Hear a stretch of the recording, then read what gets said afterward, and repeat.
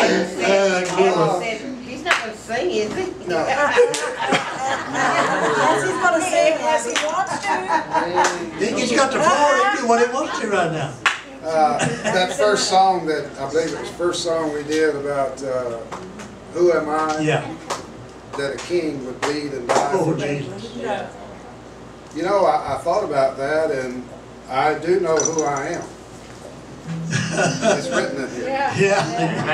I know why he bled and died. Yeah, Paul said he knew, knew what he was. I was. was ungodly. Yeah. In fact, he says, all of us were ungodly because that's the only one that he died for. Amen. There wasn't any point in dying for the godly. That's right. All were ungodly. And uh, I want to read that verse to you in Romans chapter 4 and verse 5. It says, But to him that worketh not, and actually you need to go back up a couple of verses there, but in verse 4 it says, Now to him that worketh is the reward not reckoned of grace, but of debt. Uh-huh.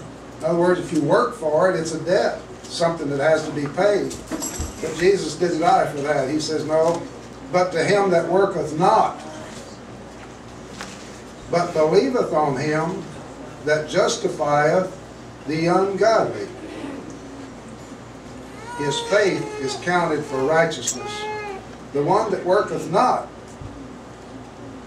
but believeth on the one that justifieth the ungodly, his faith is counted for righteousness, Hallelujah, hallelujah. not the one that works. Mm-hmm. I came up at one point in my life, and that's what, you know, I came into this thing with works. Yeah. I actually thought it was something I'd really done myself.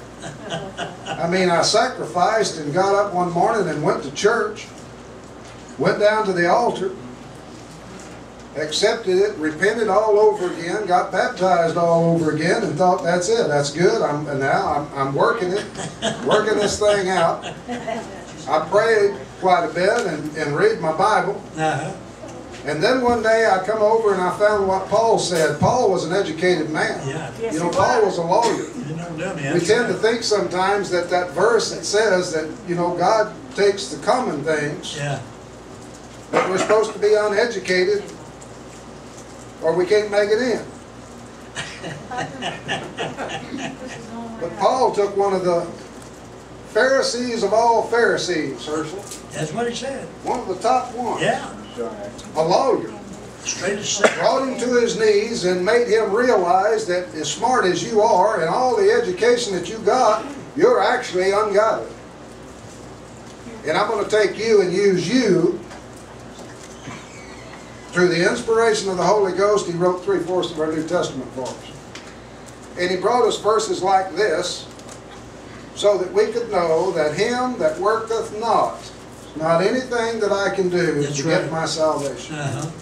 It wouldn't have made any difference how many times I went to church, how much Bible reading I did, how much time I spent in prayer, Uh-huh. all the good deeds that I did. In fact, Isaiah 64 3, Isaiah said it was as filthy rags, Yes, I that know. righteousness. Just filthy rags. Amen. Wouldn't count, wouldn't do me anything, wouldn't get me a cup of coffee down at Starbucks. No.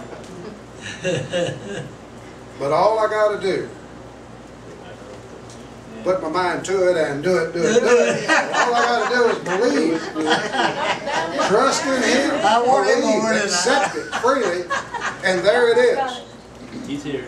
And, and Romans 8:33 is another one that just, I mean, when it just grabbed a hold of me and said something there. Who shall lay anything to the charge of God's God's elect. Elect? It's God that justifies. That's right. The pastor didn't justify. No. Come on. The church didn't justify. Go ahead. The denomination I was in didn't No, justify. no. Didn't do a thing for me. That's right. I couldn't justify myself. That's right. Amen. I justified some of the things that I did, Yeah, hoping yeah, that it'd be okay. Well, did that, but didn't help. I was still ungodly, Yeah. but God accepted me. He died for me when I was ungodly. How about he died? Absolutely nothing, Hallelujah. just nothing but filthy rags. Yeah. God shed His blood and He died for me. Amen. And that's how I made it in. I believe that every one of you probably came in the same way. I'm, count on it. God bless you. Justified by faith.